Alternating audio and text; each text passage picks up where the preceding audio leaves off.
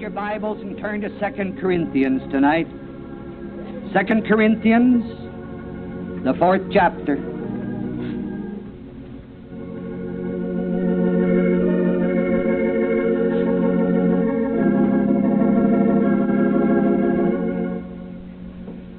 I wish we might have time tonight to read this entire fourth chapter, but we do not have that time available at the present.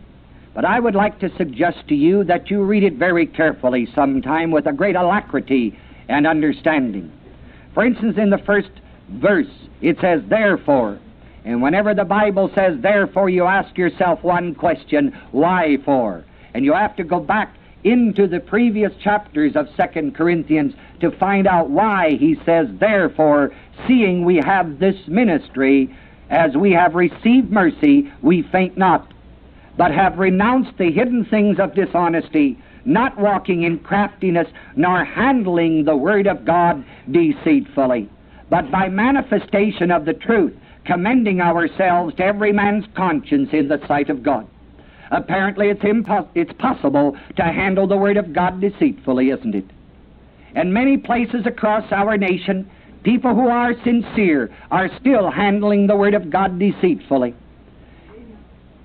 Sincerity is no guarantee for truth. The accuracy of God's Word is its own truth.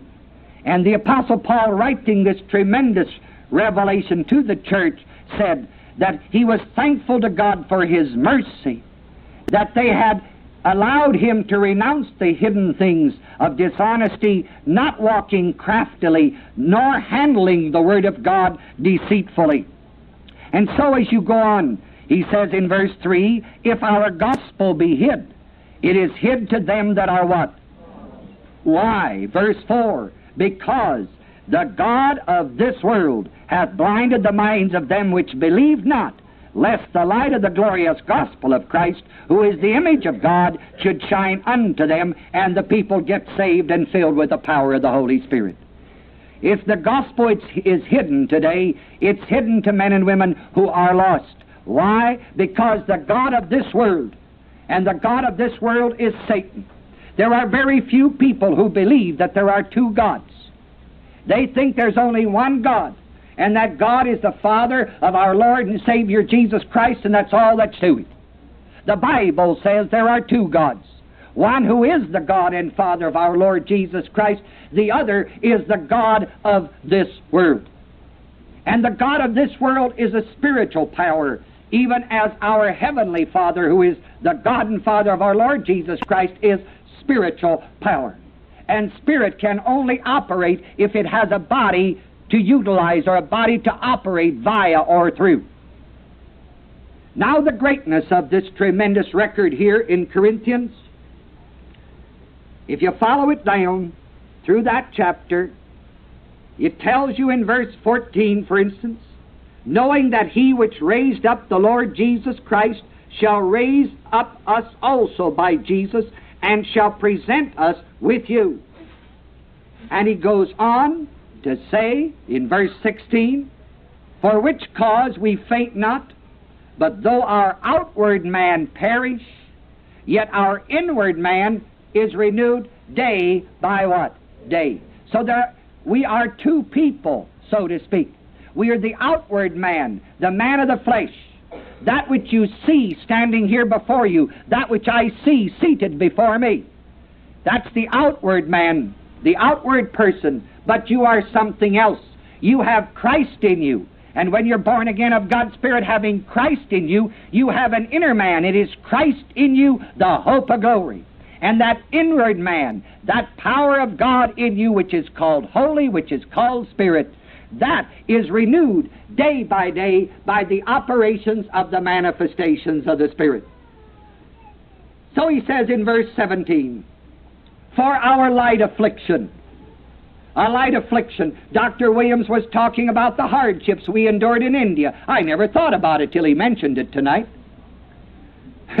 they weren't hardships, they were just opportunities. Why, time and time again, I'd take a cow and just on the rear a little bit and push it to the side because it was standing on the roadway or in the sidewalks. Or it was standing in the in the place where we went up to go to sleep someplace, the hotel. He was standing in the front door, so I push him over a little. And I remember one one time we were driving in a jeep, and we had to stop to push the baboons off of the road, the monkeys. Rector, you'd enjoyed this place with all those wild animals. Uh, the that's right. They were so thick you just couldn't get through them driving. You just drove down the road and then you'd go over in the ditch a while, and then they'd come over toward the ditch and you go back on the road. You just play like cat and mouse with them. But uh, I never thought about this. The places we went, like we had, as he said, six people, five plates. He forgot to tell you we had only one knife and three forks. Uh, but it was tremendous. Never thought about them being hardships. I remember the Haffkine Institute. Is the doctor still there at the Haffkine Institute in Bombay? He has left.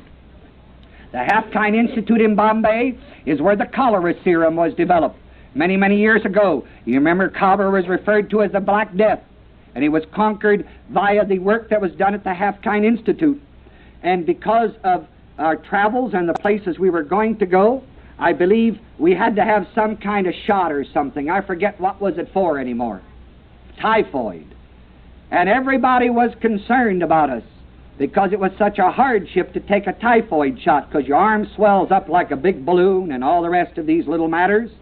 So as soon as we as we'd gone to the Haffkine Institute and Dr. Solman, if I remember his name accurately, was it? At the time, Dr. Solman, a very wonderful gentleman. He gave us that shot, and he was all concerned about it. He said, I will hope you get along all right, and so on. If not, come back and see me. We went back to the hotel room at the Taj Mahal in Bombay, and all five of us laid our hands on each other's arms where we had received these shots, and we commanded that in the name of Jesus Christ they couldn't get sore. And lo and behold, they never did get sore. They never swelled up or anything else. If I remember correctly, all those months when we were in India, not one of us was ever sick. We never lost a day, we never lost an hour. And they, these things look to people, you know, like great afflictions, but they're not. It all depends on how you look at afflictions. They become light when you've got a big enough vision. Why, when I think of what some of our people went through in past for a knowledge of God's Word, how they used to take one sheet of the Bible, bake it in a loaf of bread, and slip it across the boundary line from one county, so to speak, into another county in Germany, that they could even read a little bit of the Word of God. When I think of the thousands who were thrown to the lions and to the other animals in the, the great Colosseum at Rome, when I think of the sacrifices that were made of Christians in Ephesus and the rest of the places, where is there anyone seated in this auditorium tonight or listening to my voice who has paid anything for their knowledge of God's Word or the power of God that's in us. Why, they are not afflictions, they're just opportunities. Remember the illustration I give in my foundational class many times about the, the brook? The reason the brook sings is because it has some rocks in it. And that brook just doesn't know any difference, so it just sings. The rocks do not obstruct the water. If the rock is big enough, the water simply increases itself and goes around the outside of it. And if the rock is still too big, that water never argues with it. It just builds up and finally goes over the obstruction. But for most people, a little rock in their life becomes the focal point, and they center on that as a problem, and then before they know it, they succumb to the problem rather than to go around it or go over the top of it. These are just opportunities. Why, when that greatness of God's Word lives within the heart or life of a young man or an older man or a young woman or an older woman, they burn with that enthusiasm of the glory of the presence of Christ, and you just walk with an effervescence and with a glow. And things that were problems before simply now become opportunities. Things that were obstructions before are no longer there. We just go around them or go over the top of them. Therefore, my people, when he writes things like this, it thrills my soul.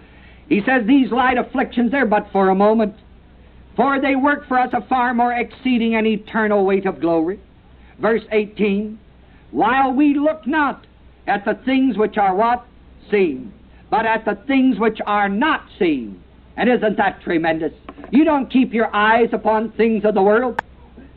You don't keep your eyes upon that which you can see with your senses. You don't condition your spiritual reaction by what the senses tell you. You condition your spiritual reaction by what the Word of God says. Isn't that wonderful?